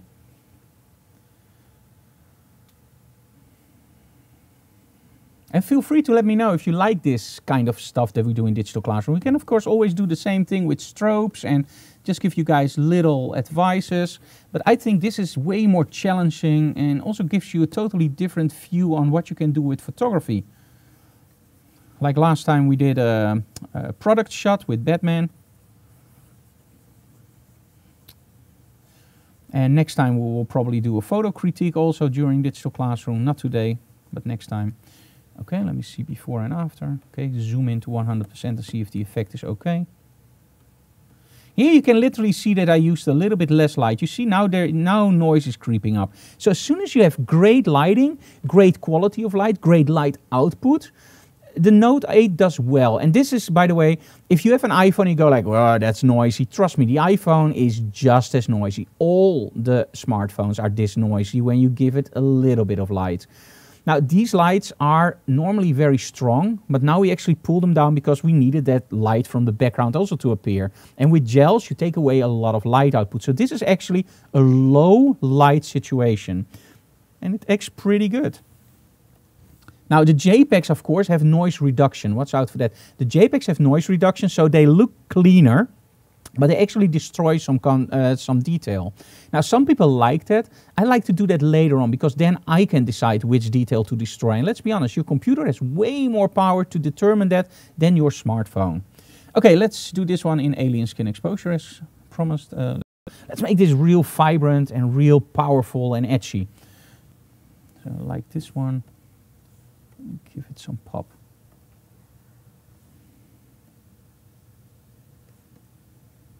No, that's too much.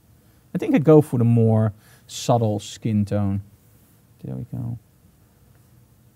And by the way, you can also buy these presets, and those are literally the presets that I use. You can go to this website. Now, don't spend a lot of money on presets, and I'm serious, guys. You can buy presets for 199 euros, and that's literally a waste of your money. We sell them for about 10 euros, and that's a nice price because everyone, every one of you guys, you can make the presets yourself. The thing is that I just give you a head start. Let me put it this way: you want to be here, the standard presets are here, and thanks to my presets, you're already there, so you only have to do a small part. And then charging, for example, 200 euros for presets, that's just ridiculous in my opinion. Sorry guys if you sell presets for that kind of money, just my opinion. Okay, so I like this. It's very subtle, and you see that all my tintings are really subtle. I don't like to go way overboard. But I want to do a little bit more with this one. I'm going to do lighting effects. And let me do this. And because I shot it with a smartphone, I'm feeling confident to be able to Instagram the heck out of a shot. And that means that we use a lot of filters. Let's do a reflection like this. Oh, love it. And you can actually zoom the effect, for example, to this and then change the opacity. Now, just add it a little bit more. There we go. Love it. Now, the cool thing is always do it before and after. As soon as you do it before and after and you miss something in the before, you know you got it right. Okay, let me change it a little bit because I want a little bit more contrast in this shot. Okay, protect. Give it a little bit more clarity. Vibrance can be all the way up. There we go. And of course we want a little bit more saturation on the pure, pure blues and the pure reds. So let's go to color saturation and just pump up the reds just a little bit. There we go. And pump up the blues. Okay, that's nice. Awesome. Now see you before and after. Okay, now we get that really poppy image. Apply. Okay, now let's say that you want that skin tone to be a little bit less dramatic. So now you go like, oh, Frank, I really like this, but that skin tone, dude, that was way better before. Now I can do, of course, a layer mask, but then I also use my uh, lose my luminosity because as you can see here, the before and after, it's also a little bit darker. So what you can better do is just do this. Do a new layer and just do a duplicate layer. Yep. Oh, there we go. New duplicate layer. Uh, just do it like this. There we go. And now just go into your saturation, so image adjustments, and then do hue saturation, and just tone your image down to the point where you like it in the skin. So don't look at anything else, only to the skin. Love it. Now do a layer mask, and do a layer mask, hide all. There you go. Take your brush with white paint, put it on 100%, and now you can literally just paint the effect in. So if you think it's a little bit too reddish on the skin, just paint the effect in. You're actually taking color out, you know what I mean. Layer masks are without a doubt the core of Photoshop. You can do a lot in Lightroom, you can literally do a lot with the adjustment brush, but what you can do in Photoshop with layer masks is absolutely stunning and great. Now if you want to make sure that you got everything, use the backspace key and you can actually see what you took out. Okay, let me change that back to white. There we go. So with the backspace key, you can really simply see what you did.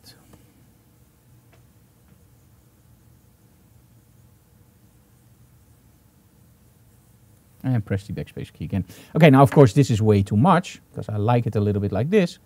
But that's where you come in with your opacity. You can go all the way down and just add the effect the way that you like it, like this.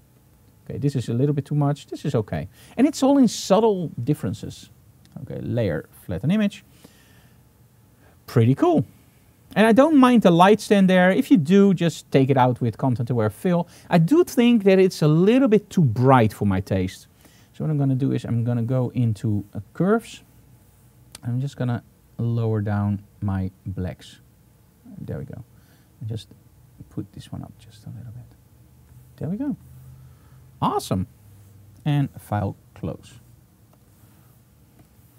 Okay, guys, final chance. Do you have any questions for me? Just let me know. Because otherwise, we're almost done. Anouk, do we have any questions on Facebook? No. No questions on Facebook. Let me there see. some announcements. hmm Let me see. Uh, when you do use a light bulb, is it just to create a creative light effect?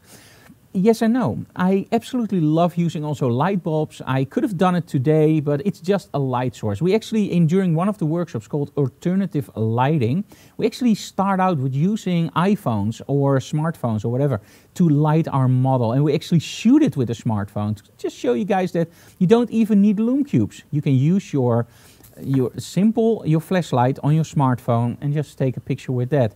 It's noisy, without any doubt, but it works. And that's the thing. Get the shot, be creative. As soon as somebody looks at your image and they go like, hmm, there's a little bit too much noise, you messed up somewhere. For the very simple reason, somebody should look at your image and go like, I really love that image. And then later on, oh, it's a little bit noisy. But they will never say it. If the image is rock rock on. And it's great. Nobody will ever notice that it's a little bit lower resolution or it's not sharp or there's a little bit of noise. I always make the joke if you really mess up a shot make it black and white add a lot of contrast and noise and you have instant art. And there's a truth to that because black and white takes away from very big mistakes. So if you really mess up a shot make it black and white with a lot of contrast as long as the story is there let me see. Oh yes, we love it. Show us that how important the wise use of light. Many thanks, Frank. Okay, thank you so very much for saying that. And that's what today was all about, showing you guys how easy it is to just create something with the bare essentials. Awesome display of what can be achieved with minimal equipment. Yes, Trevor, that's what I just said. okay, we have some announcements for you guys, and those are really cool. Again, today we released our brand new instructional video and that's absolutely, I think, a very good one. Then on 15 October, you can actually find me on a trade show in Leeuwarden. I'm not going to do any demos there. We're going to keep that for professional imaging, of course, but we're there with Tether Tools. And if you want to do a meet and greet, join me. This Saturday, we have the photo walk in Urk, and we only have one seat left, I believe, or is it full? I don't know. It's literally very full. So, and we're going to end up with Camera Nu there. And of course, you're going to see that all in behind closed doors. 24 and 25th of November, it's the ultimate weekend. Now, normal the pricing is $7.99 for the two days, and this is jam-packed with information about photography, model photography, on location, in the studio, duo shoots, single shoots. It's everything.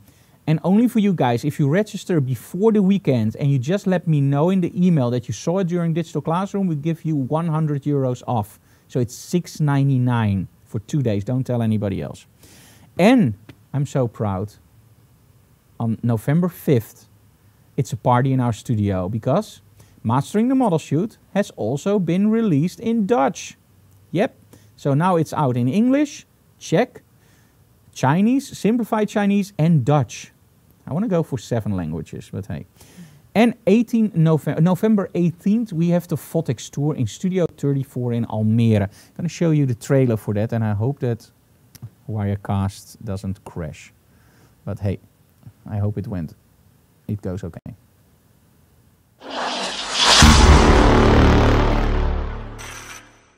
Hey, welkom in onze studio in Emmeloord. En achter me zie je hartstikke mooie foto's. Weet je wanneer die foto's geschoten zijn? Gedurende één van de Fotix Pro Tours. Wat is een Fotix Pro Tour? Ja, dat is eigenlijk heel makkelijk uit te leggen. Fotix is een merk flitsers. Uh, je kent ze misschien van de Indra of van het Odin systeem of de Mitros. Ik gebruik voornamelijk bijvoorbeeld voor speedlights de Mitros, Mitros Plus en Odin. En voor in de studio en op locatie bijvoorbeeld de Indra. Wat maakt de Indra zo interessant? Het is een kleine batterij met heel veel vermogen en een redelijk kleine kop. En het mooie is, in de studio gebruik je exact hetzelfde set als op locatie. En dat is toch wel een van de dingen wat ik heel interessant vind van dat Fotic systeem. Maar ook hun modifiers zijn erg goed uitgedacht. Wat dacht je bijvoorbeeld van de Spartan? Hey, what's in a name? Het is een uh, beauty dish, maar tegelijkertijd ook een octabox. En het is ook tegelijkertijd een hele mooie lichtbron om mee te spelen. Maar ja, er zijn eigenlijk heel veel accessoires en heel veel te vertellen over het Fotix systeem. En vandaar dat we in de Fotix Pro Tour op 18 november in Almere in Studio 34X een hele leuke dag gaan organiseren. Het eerste gedeelte ga ik jullie alles uitleggen over modelfotografie, speedlights, gewone flitsers, het mengen van lichtbronnen, het werken met gels en natuurlijk styling en het aansturen. Echt heel erg veel. En in het tweede gedeelte, dan pakken jullie zelf de camera's en gaan jullie alle modellen fotograferen wie we aanwezig hebben. Jullie moeten gewoon 18 november komen naar Studio 34X in Almere. Het wordt een fantastische dag. En het leukste, je komt ook nog eens thuis met waanzinnige foto's en veel informatie over Fotix. Ik zie je de 18e. Doei!